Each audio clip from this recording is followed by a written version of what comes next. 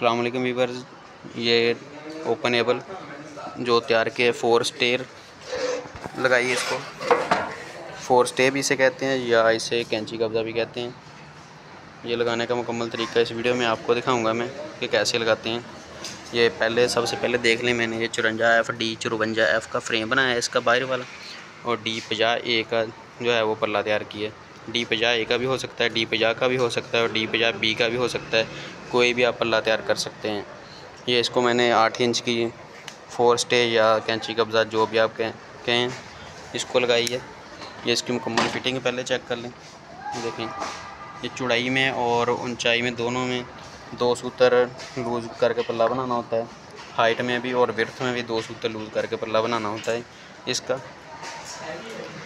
ये ये देखें, आठ इंच की ये फोर स्टे राड है और आपने लगाने के लिए इसकी यहाँ से पमाइश करनी है। ये देखें, छः इंच एक सूत्र इसकी पमाइश है। ये छः इंच एक सूत्र आपने जो है वो निशान यहाँ से डी पजा की जो बड़ी कलर होती है, यहाँ से आपने रख के एक सूत्र ज़्यादा करके आपने निशान लगा लेने।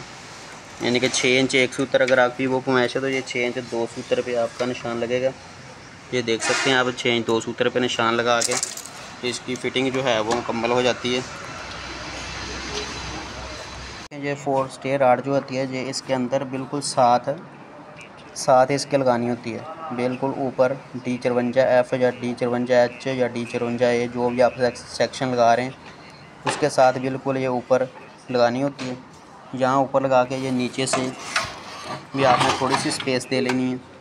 और ये पजा को जो है वो ऐसे थोड़ी सी जितनी ये छः इंच की होती है, उतनी आपने ऐसी कॉलर भी, इसकी ये छोटी कॉलर जो है, वो भी काट लेनी है।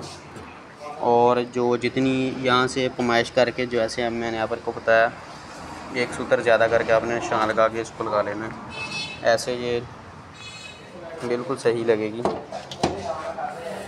और जो दर्ज है, वो देखें, बिल्कुल एक जैसी आएगी आप। इस तरीके से फोर स्टे आड़ या कैंची कब्ज़ा लगाना बहुत ही आसान होता है। ये मैंने आठ इंच की फोर स्टे लगाई है इसको।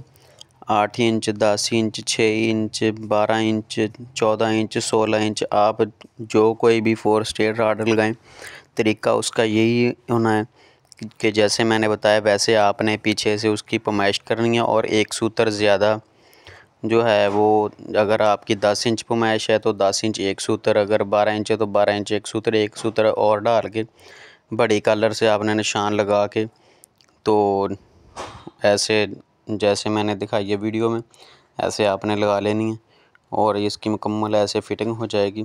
अगर वीडियो अच्छी लगी हो तो लाइक कीजिए, चैनल को सब्सक्राइब कीजिए और हर नई आने वाली वीडियो देखने के लिए बेल आइकन के बटन को भी लाजमी दबाइए। अगर कुछ और सीखना चाहते हैं तो कमेंट में लाजमी बता दीजिएगा मैं उसकी भी वीडियो बना दूँगा। अपना ख्याल रखिएगा। अल्लाह हाफिज़।